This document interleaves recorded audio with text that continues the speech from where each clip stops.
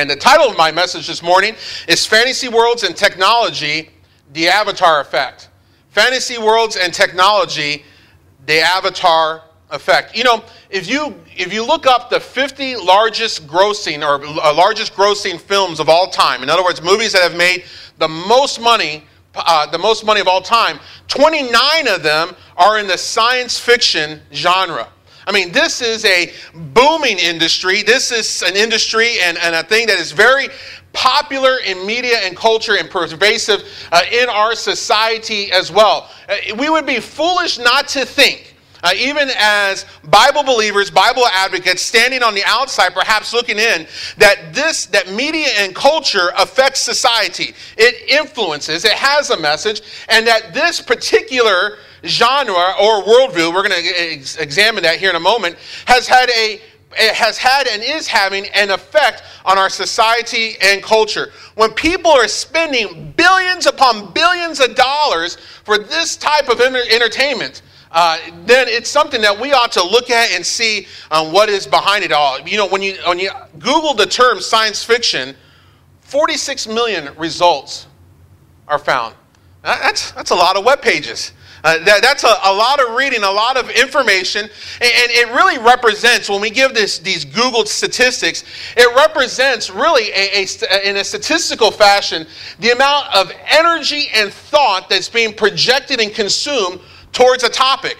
For something that many would claim is just imaginary, made up, and fun, we sure are spending a lot of time, energy, and uh, resources towards its production. It consumes a lot of who we are and a lot of what we are uh, in, thinking of this idea uh, of science fiction. But the idea of creating and imagining alternate realities is not a new phenomenon. So, what we're discussing today is not necessarily a modern problem or issue. Uh, what we're talking about today is not something that previous generations have not dealt with. It just comes in different forms. Uh, it just manifests itself in different ways. And so it is up to this generation and Bible advocates of today to be able to take the truth of scriptures, lay it over what the world is presenting, and be able to correctly decipher the messages that we're being taught. But know this, friends, that the idea of making up a new world is not new. Turn with me, you should be in your Bibles there to Genesis chapter 3 and verse 1. Ch- Genesis chapter 3 and verse 1. It, it, it's actually so old that it goes back to the beginning. The, the concept of a different reality, uh, the concept of worlds and environments uh, in which the laws and morality that we are that are described to us by the Bible that affects the world that we live in today or that governs the world that we live in today has been put into question since the very beginning.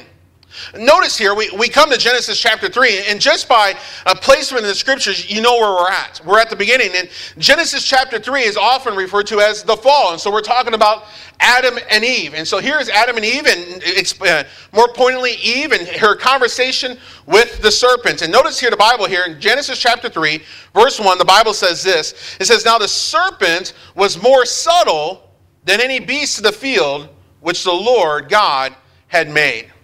Now, before we, we go a little bit further into this and laying down a little bit of a biblical foundation here, uh, notice uh, immediately that the Bible gives us a great adjective here in describing this serpent.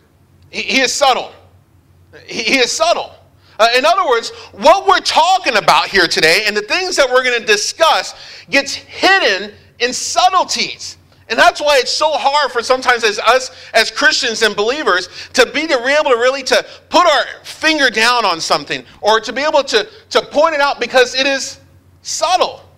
It is subtle. Listen, I, I dare say if I were to get up here this morning and we were going to talk about something about uh, uh, you shouldn't watch movies about devil worship. Uh, or you shouldn't participate in cultural phenomenons that have to do with the occult uh, and that are expressly occultish. That's not very subtle.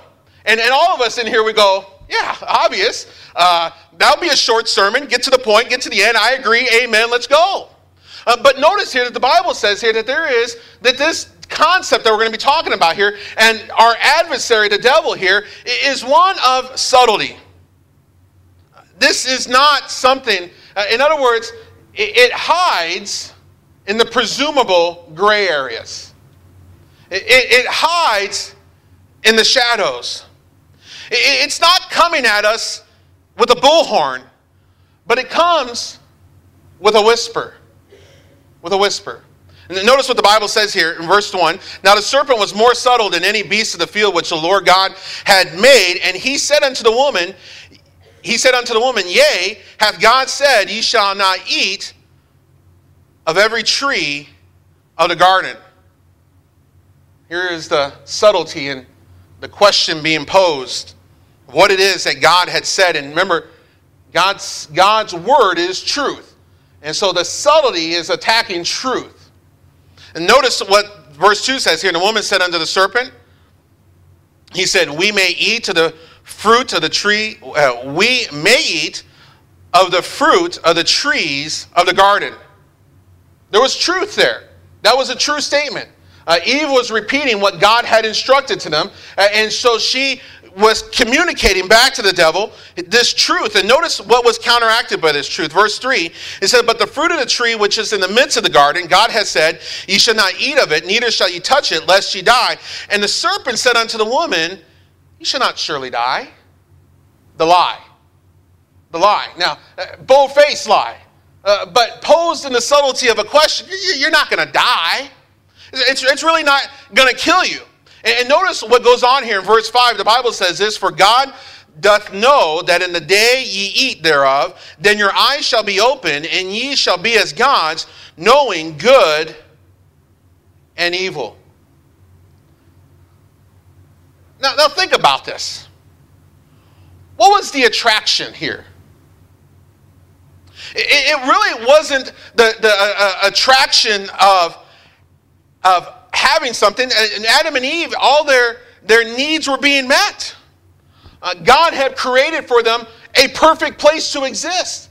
Uh, not only were all their physical needs met, God was very concerned about the relational, uh, the relationship needs, and so God created Eve for Adam, and so their, their physical uh, and human relationship needs were being met. The Bible describes for us uh, that that they walked with God in the cool of the morning, in the cool of the day, and so their spiritual needs were being met. It, it wasn't as if uh, Eve was being tempted with what she didn't have per se. She was being tempted, or she was being proposed an alternate reality. Let me show you a different world. Uh, let me show you a world, not the world that God has constructed for you, uh, not the world that God has put around you, but let me show you a world without God.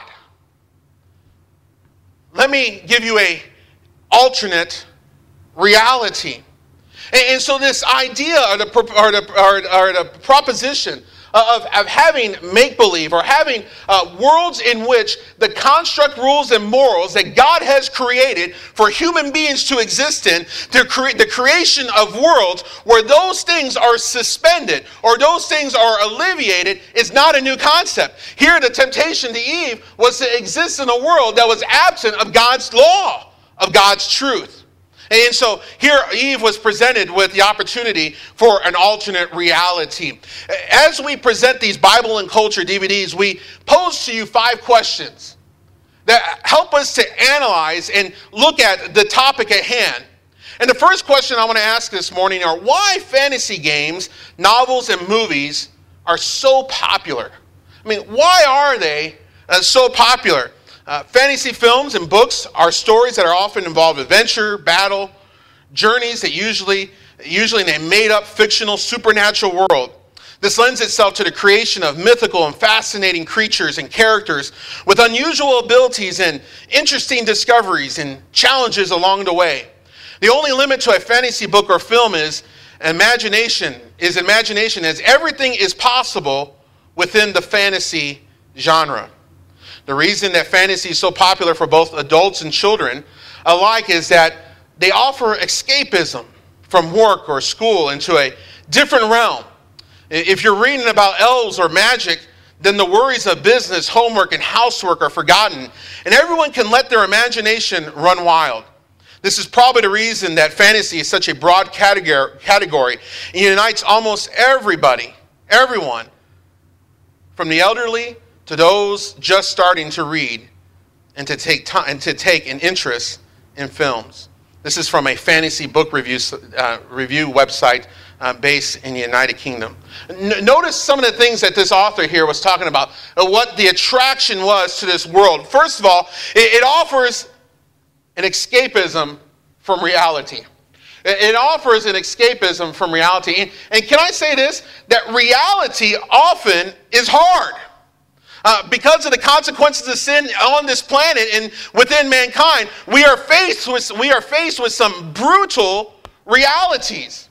And so a genre or, or, or uh, something like uh, fantasy games and novels and movies and things become popular because they allow a form of escapism. Now, let me uh, preface this by saying this. That's not the only form of escapism that exists. Uh, we have devised many different ways to escape our reality, whether or not we escape into bad relationships or whether we escape into the abuse of substances. Um, we find different ways to escape reality. But, friends, can I, can I challenge you with this thought that coming even from the very words of the proponents of these, of these ideas and fantasy worlds and, uh, and these things, that there is a major draw to them because they provide the same types of effects as those other means to escape a reality. Uh, oh, listen, uh, who doesn't like when you come home after a hard day's work to be able to turn on the tube and just disengage? I mean, I, have used that statement before myself. Uh, to be able to go and not think anymore. Uh, to be able to, to put those, those things aside and be able to, to focus on something else. And so here it offers an escape from uh, reality. You know, also, it allows people to operate outside the normal physical, societal, and normal and moral limitations. I mean, isn't that what's kind of cool about this, uh, the idea of fantasy thinking? I mean, it allows us to suspend normal rules. Listen, the average Clark Kent becomes Superman. Now, who, who would like that? You know, here I am, the average uh, desk jockey. I got my nerdy glasses on. I got, you know, I'm sitting here, and, and no one, you know, I'm, I'm the social. Uh, I'm kind of like, you know, a little off. But then when I jump in and out of a phone booth, you know, I become Superman. There's something appealing to that. The geeky Peter Parker becomes the cool Spider Man. Uh, the Bruce Wayne becomes the moral judge uh, unto himself in Batman. He's a vigilante. He, he decides what is right and wrong and, and, dis, and, and disperses his own judgment and his own morality. And so, what is the attraction, particularly to this idea of fantasy thinking or in movies and novels and all these? Not only this escape from reality, but this, uh, this idea to, to operate outside normal constricting bounds. Now, listen, we're, we're going to talk about this because some people are going to say, well, listen, what's wrong with that? Using your imagination, um, uh, being able to, to imagine these things and engage those things. And, and, so notice as we begin to connect some dots here, and Lord willing, lead you to a, a place where you can make great decisions for you and your family.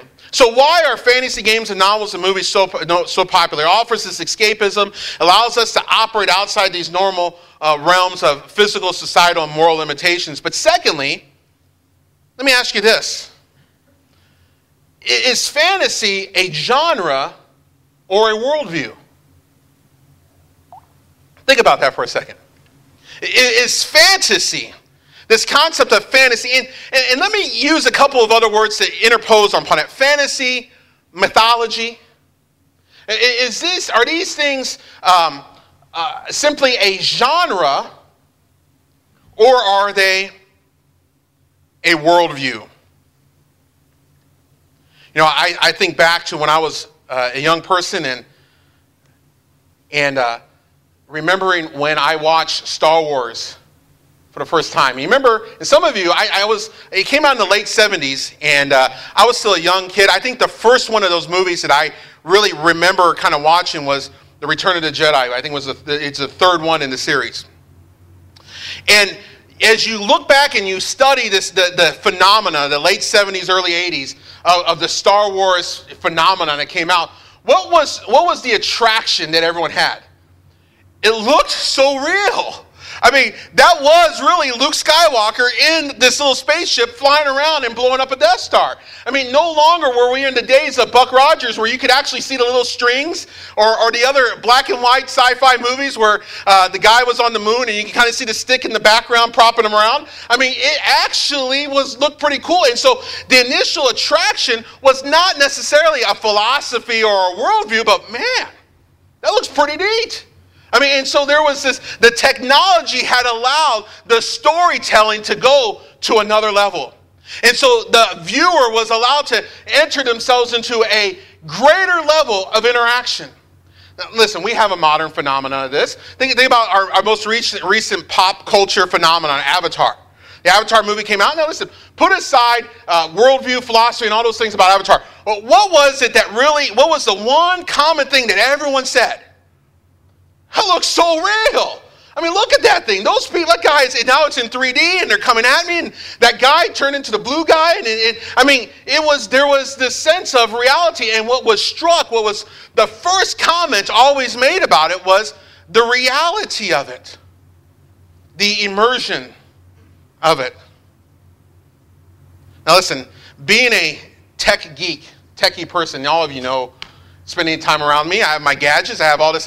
Listen, I love cool things. And you show me something that you can do cool in Photoshop, and I'm like, that's pretty cool. Uh, when you can make someone and make them appear and disappear. You show me uh, a special, I mean, believe me, I'm the first one to say special effects are awesome. I mean, those things are cool and they're entertaining and to watch. But let me ask you these Are these movies simply about the technology or the cool special effects? Or is there more behind it? Is this just a genre of special effects? Or is it the proposition of a worldview? I have a video for you. I'm going to let the guys go ahead and cue it up here, and it's George Lucas. Now, George Lucas is the creator of Star Wars, and I don't necessarily mean to pick on Star Wars. We can pick, we can pick a number of different movies, but here is direct from them. We didn't edit this. We took out some of the movie clips that they put in here because I just didn't know we wanted to show Star Wars in church. Uh, but here is straight from him George Lucas, the creator, the creator of the special effects, the guy that thought them all up and how to make the Death Star look real. But he's going to share with us his own words, about eight minutes, his philosophy, his thinking. Now, let me preface this, this video by once giving you a little bit about, about me personally. Listen, I, growing up, Star Wars fan watched all the movies. I could tell you the lines, I could tell you everything. And I have to remember when I saw this clip a couple of years ago, I, it came out with one of the DVD box sets. And I saw it one time. I have to be honest with you that in watching it, there was a part of me, the Holy Spirit inside of me said, Oh, don't say that. Uh, don't, don't say it that way. Uh, don't, don't mean it that way because you get a little bit more of an insight into what was behind the thinking. I've come to is that all the religions are true they just see a different part of the elephant. Religion is basically a, a, a container for faith. Um, faith is uh, the, the, glue that holds us together as a society. Faith in our, in our, our culture, our, our world, our, you know, whatever it is that we're trying to hang on to, uh, is a very important part of, uh, I think, uh, allowing us to, to remain stable, remain balanced.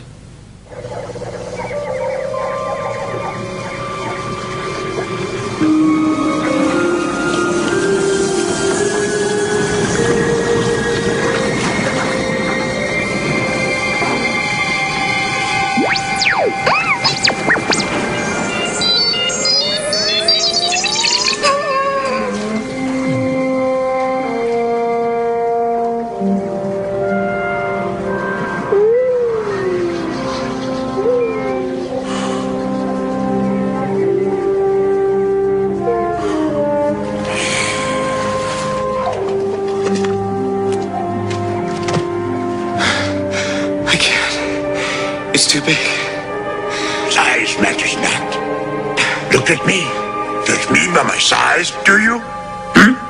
Hmm. And where you should not. For my ally is the Force. And a powerful ally it is.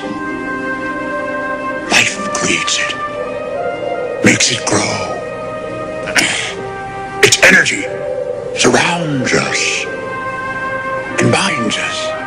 Luminous beings are we, not this crude matter. You must feel the force around you. Here, between you, me, the tree, the rock, everywhere. Yes, even between the land and the ship.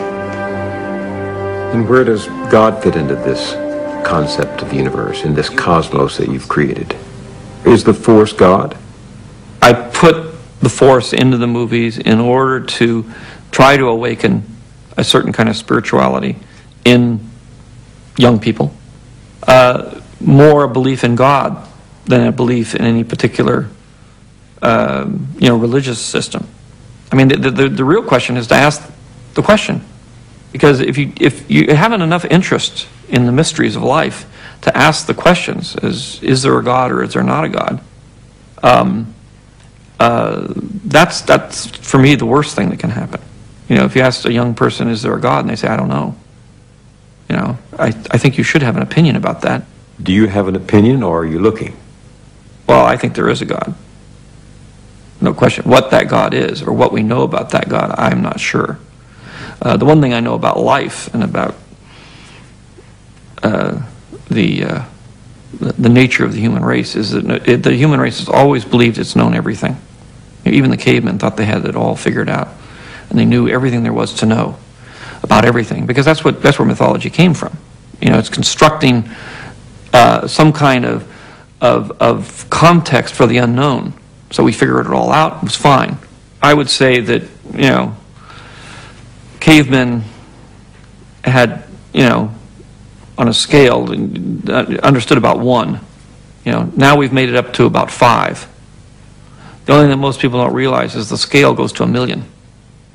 The central epic of our culture has, has been the Bible, and it's about fall, wandering, redemption, return. But the Bible no longer occupies that central place in our culture today. More and more people today, are, young people in particular, turning to movies for their inspiration, not to organize religion. Mm-hmm. Well, um, I hope that doesn't end up being the, the course that this whole thing takes because um, I think there's definitely a place for organized religion. That's a very important part of the social fabric. Uh, and I would hate to find ourselves in a completely secular world uh, where uh, you know entertainment was passing for some kind of religious experience. One reason, one critic said, that Star Wars has been so popular with young people is religion without strings attached, that it becomes a very thin base for theology. In fact, well, it is a thin base for theology. That's why I would hesitate to call the force God. Um, when the film came out, uh, almost every single religion took Star Wars and used it as an example of their religion and and we're able to relate it to young people and saying this is what and relate the stories specifically to the Bible and relate stories uh, to the Quran and the you know the Torah and things. And so it's like, you know, if it's a tool that can be used to make uh, old stories be new and relate to younger people, that's what the whole point was we downloaded something from your website the other day, and there you were talking about how you wanted the Jedi to be more than just fighters. You wanted them to be spiritual, but you didn't say what you meant by that. I, I guess they're like uh, ultimate father figures or negotiators. Uh, and and at this point in time, they are they're sent out to negotiate a a deal. How do you think this trade viceroy will deal with the Chancellor's demands? These Federation types are cowards. The negotiations will be short. They help to put forth answers uh, where people are in the middle of a dispute. Do not defy the Council, Master, not again. I shall do what I must, Obi-Wan. They aren't an aggressive force at all. They will not go along with you this time. Uh, they try to, I don't know, conflict resolution, I guess, is what you might, intergalactic therapists. Have you been influenced by Buddhism because Star Wars came along just about the time there was this growing interest in America in Eastern religions. And, uh, I, and I notice in The Phantom Menace, the new episode one, that uh, they discover this slave child who has a, an aura about him. And it reminded me of uh, how the Buddhists go out to look for the next Dalai Lama. Mm-hmm. Well, there's a again a mixture of all kinds of of uh, mythology and religious beliefs that have been amalgamated into the movie, and I've tried to take the ideas that seem to cut across the most cultures uh, because I'm fascinated by that, and I think that's one of the things that um, I really um, got from Joe Campbell was that what's what he was trying to do is find the common threads through the various mythology, through the the religions. One of the comparisons that came to mind just when I was rewatching the series recently is when Darth Vader tempts Luke to come over to the Empire by offering him all that the Empire has to offer. I was taken back in my own youth to the story of Satan taking Christ to the mountain and offering him the kingdoms of the world if only he would turn away from his mission. Right. Was that conscious in your mind? Well, yeah, I mean, that, that story also has been retold. The temptation, I mean, Buddha was tempted in the same way. Uh, it's, it's all through mythology.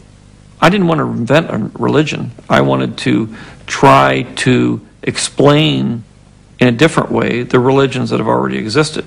You're creating a new myth. Well, I, am not. I'm, I'm, I'm telling an old myth in a new way. I'm just taking the, the, the, the, the core myth and I'm localizing it. Uh, as it turns out, I'm localizing it for the planet, but um, I guess I'm localizing it for the end of the of the millennium more than I am for any particular place. This is the the you know this is this is again part of the globalization of the world we live in the average human being has much more awareness of the other cultures that exist, coexist with them on this planet. And that certain things um, go across cultures, uh, and uh, entertainment is one of them. And uh, film uh, and the stories that I tell cut across all cultures, are seen all around the world. So, what lessons do you think they're taking away from watching Star Wars and, and Italy and Malaysia and South America. One of the main themes in the film is uh, having organisms realize that they must live together and they must live together for mutual advantage. Not just humans, but all living things and everything in the galaxy is part of a, a greater whole. Now, let's see if we can't figure out what you are, my little friend and where you come from. I saw part of the message. You... I seem to have found you. General Kenobi, years ago you served my father in the Clone Wars. Now he begs you to help him in his struggle against the Empire. I regret that I am unable to present my father's request to you in person, but my ship has fallen under attack, and I'm afraid my mission to bring you to Alderaan has failed. I have placed information vital to the survival of the rebellion into the memory systems of this R2 unit. My father will know how to retrieve it. You must see this droid safely delivered to him on Alderaan. This is our most desperate hour. Help me, Obi-Wan Kenobi. You're my only hope.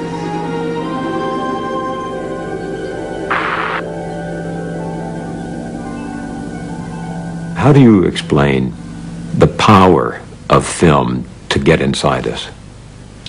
Well, I think film is a very modern art form. It, it takes all of the you know, all of the aspects, the senses, really, of other art forms, be it painting, music, uh, literature, you know, drama, uh, theater, uh, and puts them into one, one art form.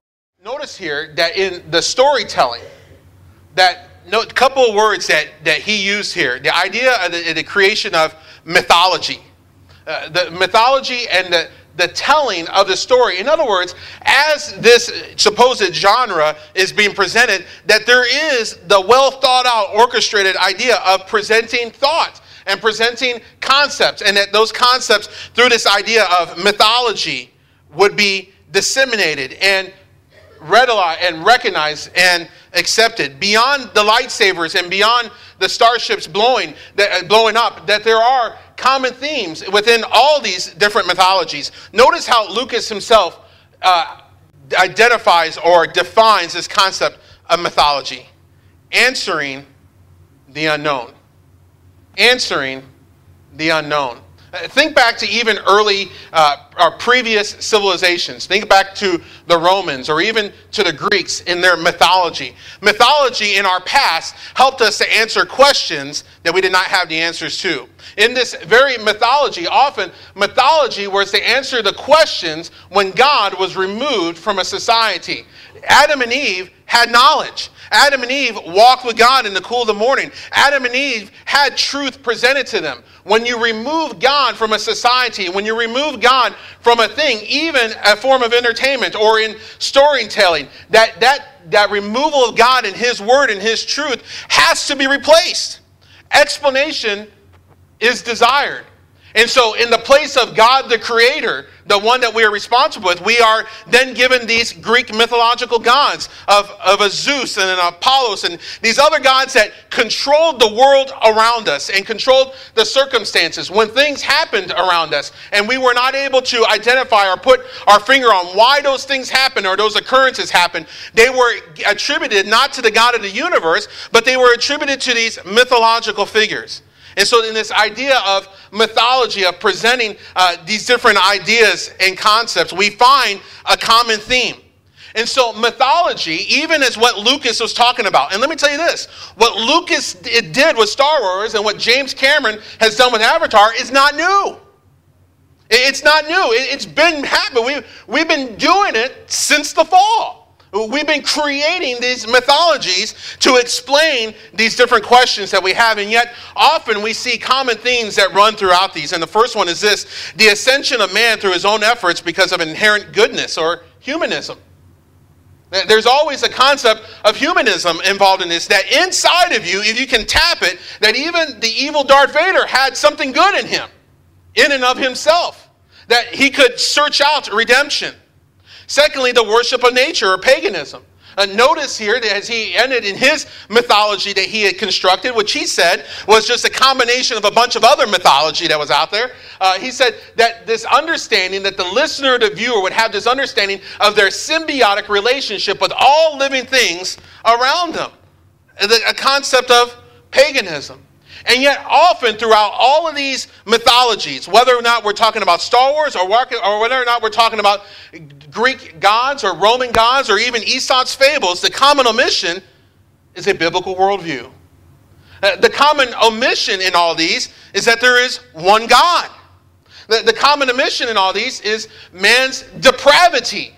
In other words, that, that man cannot save himself, that man cannot redeem himself, and that salvation is through Christ alone. That these are common themes throughout all mythology, whether or not this was a philosophy class and we were studying ancient Greek mythology, or, or whether we're studying modern 20th century cinema, all these mythological stories seem to have the same uh, uh, reoccurring common themes and the same common omissions, and really are an outward example an outward plane of when society and culture removes God, that the void that He leaves has to be filled.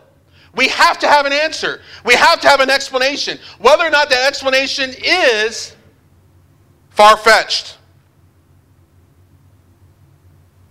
Why has mythology had such a strong place in human civilization and is it beneficial?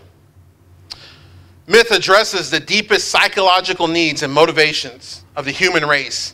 And that is why myth is so similar throughout the world. The story in a particular myth addresses themes that are part of the common needs of all human beings and thus reflect the experience of all human beings across a large segment of time and the planet.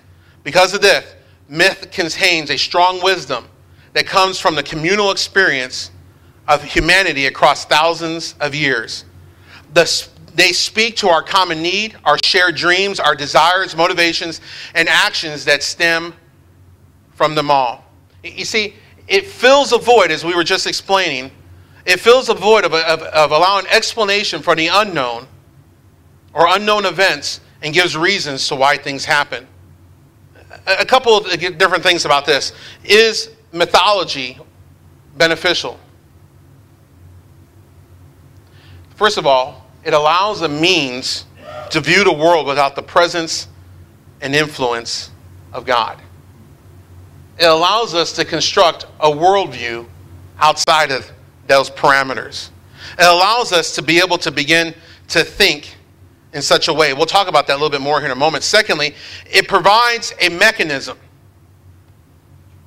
if only figuratively or in the imagination, for man to circumvent his reality. Now, I'm going to title it this way the hero concept. So, so now I've answered all the things I cannot explain around me through mythology by the, these, the creation of these gods and these entities. And now I have created a mechanism, if it's just in my mind and imagination, to circumvent those realities with this idea of the hero concept. And we'll talk about the man becoming God. We'll talk about that here in a second. Secondly, or third, it clouds Bible truth. Is mythology beneficial? It clouds Bible truth. What does the Bible often claim to be? Myth. Right? Oh, oh, listen, how much, how much truer is the story of Samson if in Greek mythology there's also the story of Hercules? It clouds Bible truth. And, and so you have to begin to answer the question for yourself Is mythology helpful? Uh, is it beneficial? I, I remember, uh, I remember in my in public in my public school education uh, having to go through my world history classes and doing in-depth studies on Greek and Roman mythology. To what end? Because those are pagan religions. It, it might have been religious studies. Uh, we might as, might as well have been having Bible study, i.e., mythology Bible study. Because that is the need that those entities or those concepts replace. It replaces the truth of the Word of God. It clouds Bible truth. Well, fourth question.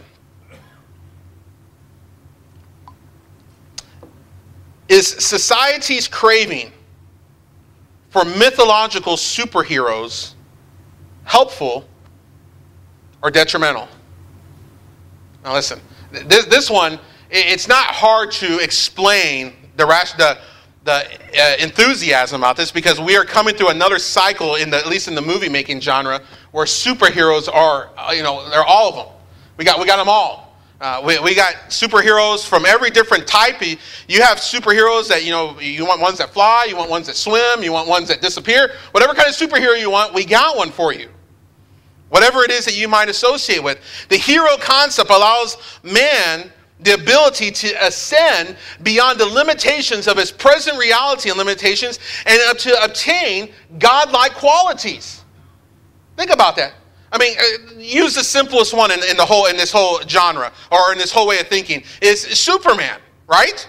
I mean, we easily attribute to Superman a lot of godlike qualities, or at least qualities that far supersede the ability of any human being.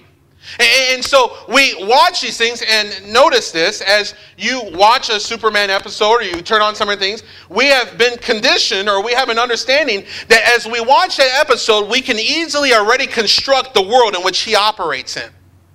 In other words, in any other circumstance, a man flying doesn't make sense unless you're watching a Superman movie. It makes perfect sense. Why didn't he fly that time? He can fly because I'm in his world right now. Uh, so much so that we're able to construct that in our imagination that it leads even our children to do what? I did it. I think I have a scar on my head to prove it. Uh, I, went, I went to the bathroom. Uh, I got the towel. I, t- I, it, I, I, tied it around my neck, uh, and I jumped off the couch. Because, you know, I was wanting to bring with me that construct, that reality, over into the real world. Now, Listen, I don't do it anymore. And some of you are saying, listen, Pastor Jason, that's ridiculous. We outgrow that. We, get, we got beyond that. Perhaps, but the exercise trained us to be able to think, understand, and function in an alternate reality the exercise of it, the conditioning of it, got us to be able to think otherworldly. Uh, God is to be able to, to construct in our minds these other environments. And listen, because the towel really didn't make you let you fly, you couldn't do it, and you quickly, for one brief moment, as you stood at the edge, you thought you were him. You thought that your world, that you had put aside all the natural laws of gravity, and you were about to jump. Now, what happened when you jumped? Reality smacked you right in the face. Right? And you say, and, and listen, and for many people, that was the growing up moment. I'm going somewhere with all this. That, that was the growing up moment. You see, and, and so that's why a lot of we go, that's why it's harmless. Because when you try to be a Superman, it never worked. Now listen, fortunately, for me, it was just a couch. I think my brother did it off the roof one time. Reality took about a second longer for him to hit, but it hit a little harder.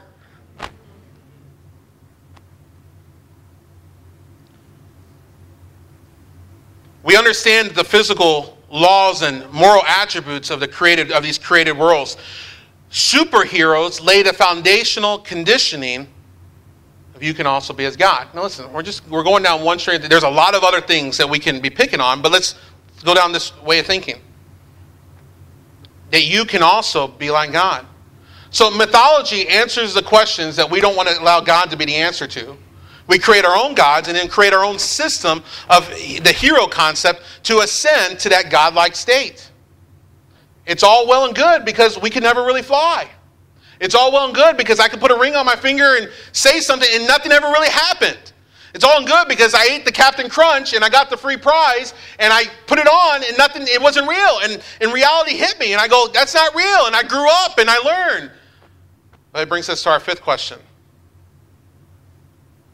what are the consequences then of our culture's acceptance of the Hindu concept of avatar? Now, listen, I'm using the word avatar not in the sense of the movie. So listen, hear it out because I'm going to define it for you here. But what are the consequences of our culture's acceptance of the Hindu concept of avatar? In Hinduism, avatar means literally is a deliberate descent of a deity from heaven to, her, to, earth, to earth, or a descent of a supreme being, and is mostly translated in English as incarnation, but uh, uh, accurately as appearance or manifestation.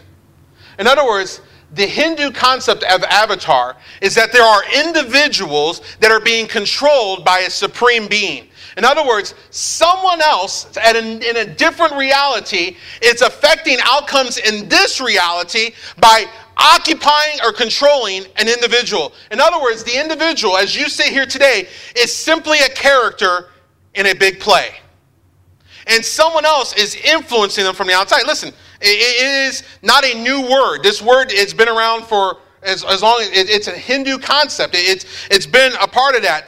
Um, the more English kind of definition of it is this a manifestation of a deity in a bodily form on earth, or an incarnation, embodiment, or manifestation of a person or idea. But recently, the term has gone on to mean have even a greater meaning.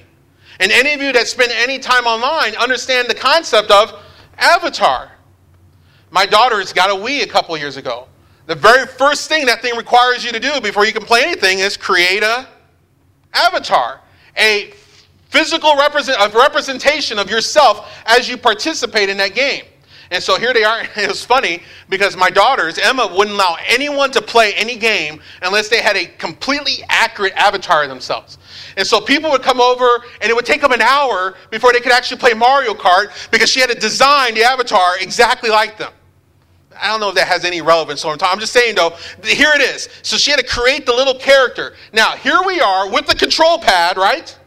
Controlling what happens in that screen, and there's a little, there's a physical representation of whatever, whatever we want to be. Now, in her preciseness and according to her personality, she wanted to go for, you know, someone that was an exact representation. Now, I've played these games before, and I've created an avatar for myself and are never bald and fat. I, I never create one who's balding and overweight. I always create one, you know, ah, let's just trim him up a little bit. You know, let's, let's make him look a little bit better. But think about this mythology plus technology has equaled a new realm of participation. What began as stories around a campfire under the skies, pointing out constellations and telling mythological stories, that evolved to black and white television, that evolved to a film like Star Wars, which said it looks so real. They evolved to a film like Avatar, which it coming, is coming right out at me. Now, the combination of mythology and technology, same old mythology, same old stories, but, but now the new technology allows for a new level of participation. In other words, I can function and participate outside true reality. And this is where it begins to beg the question for the believer. At what line, at what point do I alleviate responsibilities for my thoughts and my intents? At what point are those no longer real?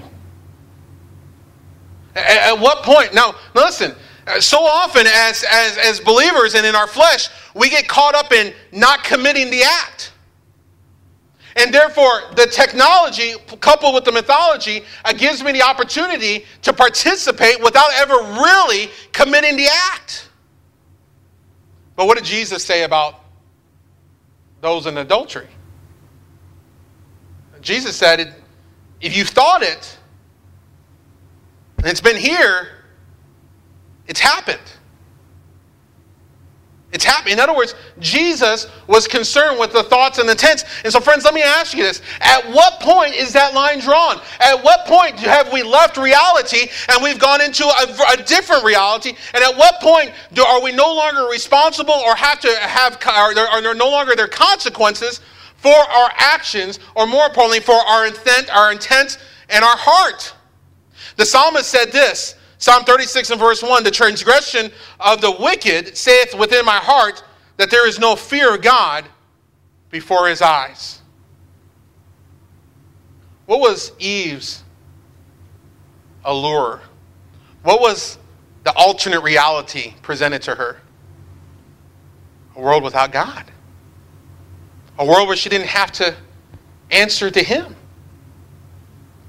And, friends, let me tell you, we are quickly as a society. Now, listen, let me take this outside the, the context of the church and believers, but let me just say society at large. We have quickly allowed the mythology and now the technology to combine that there are whole realms of reality where people have lost all sense of responsibility.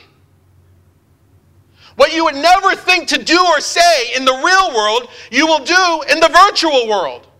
The problem is, as technology continues to grow and increase, the desire of technologists today is to make the virtual world and the real world inconceivably not to be, the, the, the difference not to be perceivable any longer. Let me, let me just give you a practical example. And you say, uh, I'll just step on everyone's toes since I probably got a bunch of people so far in this. Some of you will say on Facebook what you would never say in public. You would never come up to this pulpit, stand in front of here, with everyone here standing here listening and quiet, just like it is now. And stand right here and say what you say. You would never do it. You would be embarrassed. You would blush. You would walk, you would leave here crying. If, if, if, if we had the ability to say, listen, you come up here and say what you read, what you wrote this week. You leave. But because of the perception of a different reality that does not necessarily have the same social confines of what the, op- the reality that we operate in here today, you said it. Or whatever by ignorance you had the idea that it really, you didn't understand the context of the terms that you were saying. But does that have real world consequences? Sure, it does. Because some of you have cried real tears over things that you have read in fake Facebook. It's coming together. There's the melding of this, and we have to understand this as Bible believers. The mythology plus the technology is becoming the proverbial box in our minds in which God does not reign. Think about it. It's the one area that God can't touch because we've convinced ourselves that it really not, it's really not real. But the desire is for it to be real and for the experience to be real. Turn with me, we'll finish here. Genesis chapter 6. How will this affect society and culture at large? Let me keep, the, let me keep it broad here.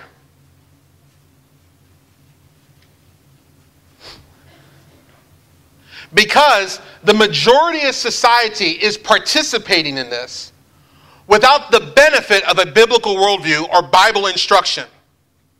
We have to admit with that. Regardless, we're not answering the question right now should or should not Christians participate in this? Let's just come to this agreement that the majority of people that are participating and fueling this do not have a biblical worldview.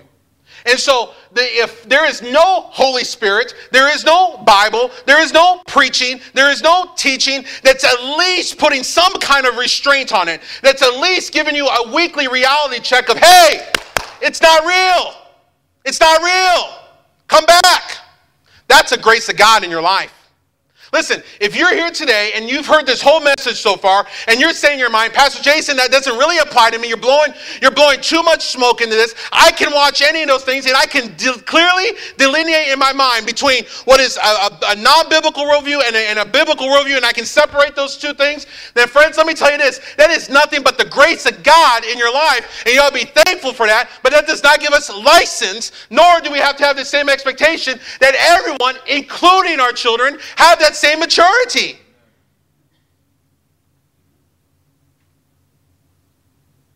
So, the majority of society and culture today, we all, regardless of where you might stand and how you feel so far in this whole message, we have to all agree does not have that benefit as they are participating.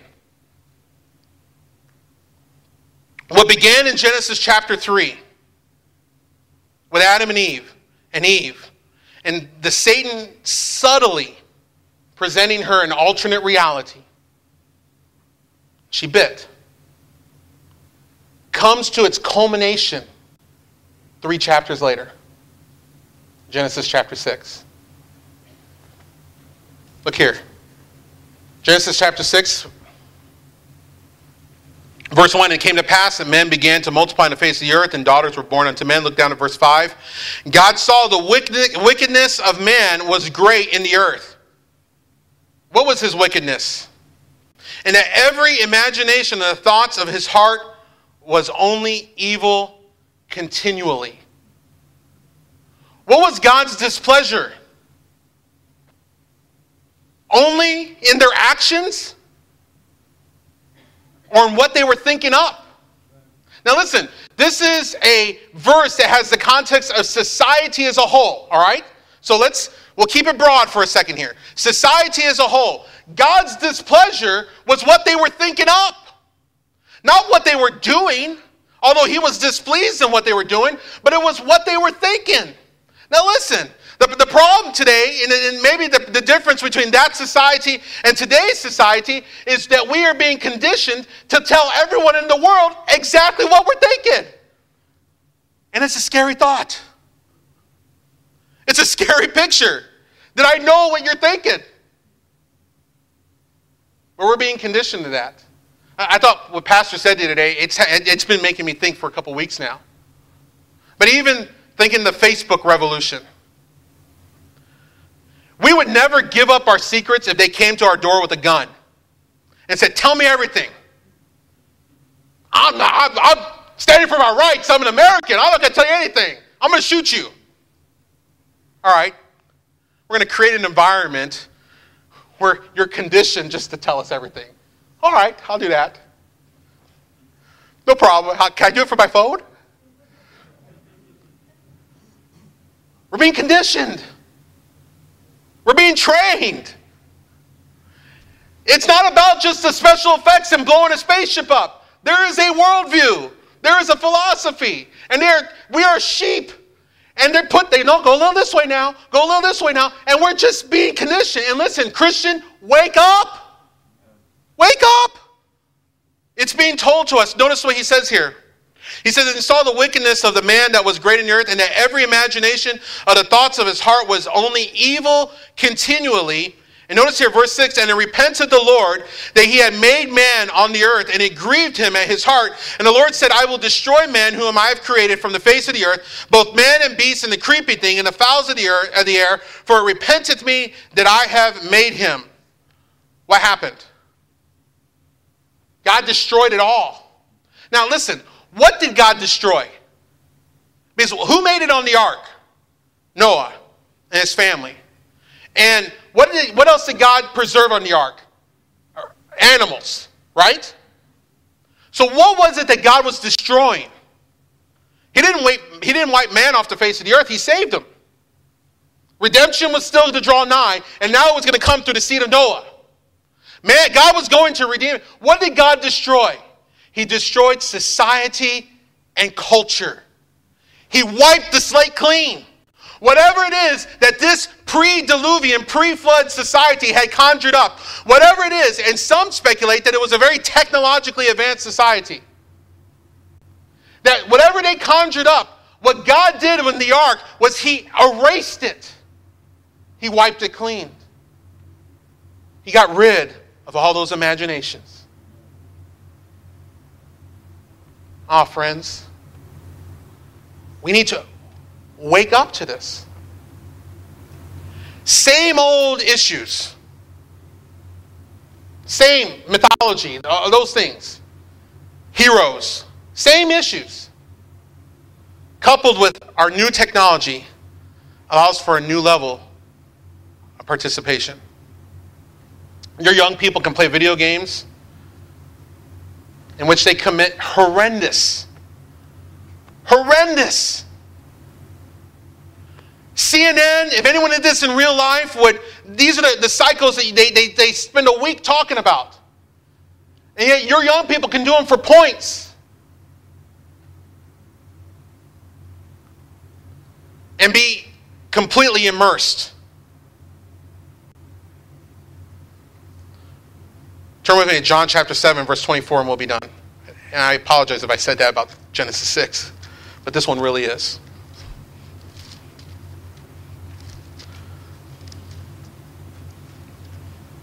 All right, so let me tell you this as you're turning there. The big picture, it doesn't look good for society and culture.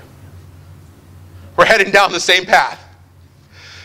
We're heading down the same path we accepted, we desired an alternate reality. The alternate reality was a reality without God. As that uh, uh, fermented and, and went on, it led to the destruction of all civilization and society and civilization.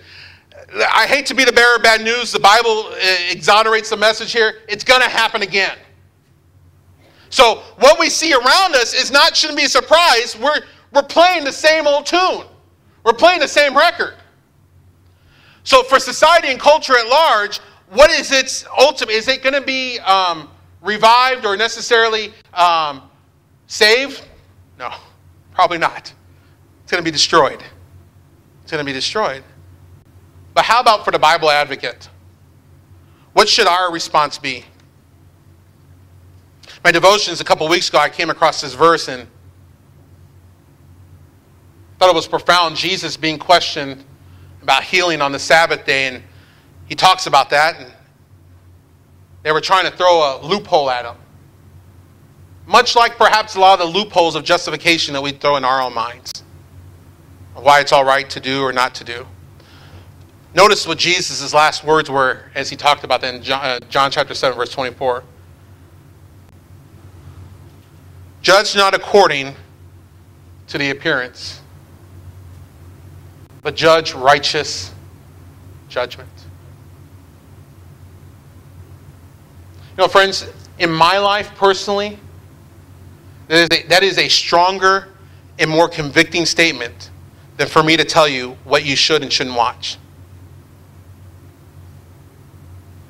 than me sit here and come up with a checklist. This is good, this is bad, this is good, this is bad. Watch this, don't watch this. After five, you know, whatever the rules might be. But would you take those words of Christ to heart? Honestly and sincerely? And allow those to ruminate and to have effect in your life. Judge not according to the appearance, but judge righteous judgment. Righteous judgment. Fantasy worlds and technology, the avatar effect. Friends, my proposition to you this morning is the culmination of these two things is about to have greater, profound effects upon our society and culture. And the Bible advocate must be prepared, must be prepared to give an answer.